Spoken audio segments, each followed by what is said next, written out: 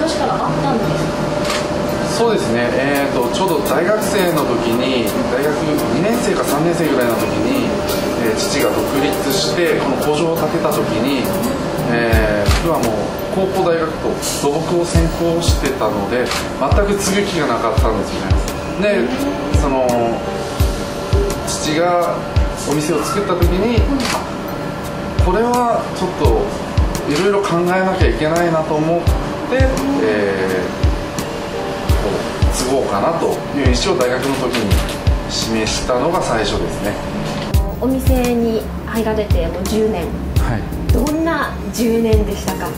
振り返ると、えー、振り返ると、うん、そうですね。あの僕があ帰ってきた時とはまたあのお店の雰囲気ももうあの僕がちょっとこういうお店の形にしたいっていうのがあって、えー、父を説得して、えー、もうクリーニングのこうなんていうのかな昔からあるクリーニング屋さんのイメージを払拭したい。ちょっとおしゃれな感じ。あのおしゃれな方がおしゃれなお洋服を着てこられるそういったカフェのような雰囲気を作りたいと思ってですねそういったお店作りをさせてもらったりだとかもともと技術っていうのは父が持ってたのであのそれはもう大事にしながらですね、え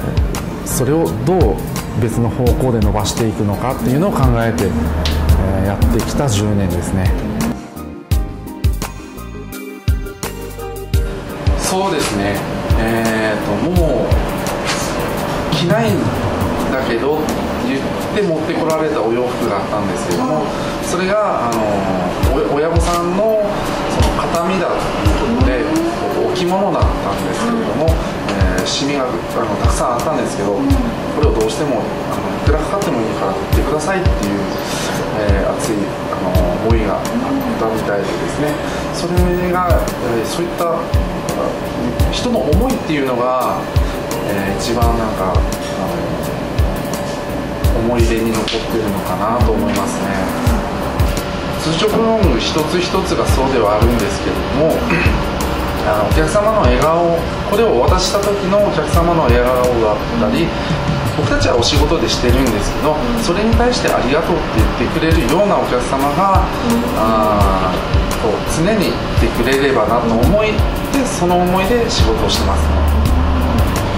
はい。阿蘇らしい阿蘇らしい仕事のやり方ともあると思いますし、はい、そういったところをあのしっかり伸ばしていくと楽しい仕事ができるんじゃないかなと時間に、えー、終わと都会に行くとやっぱりどうしても時間に追われることもあると思うんですけれども、えー、そうでない仕事のやり方っていうのも、えー、ものすごく大事なんじゃないかなと思います。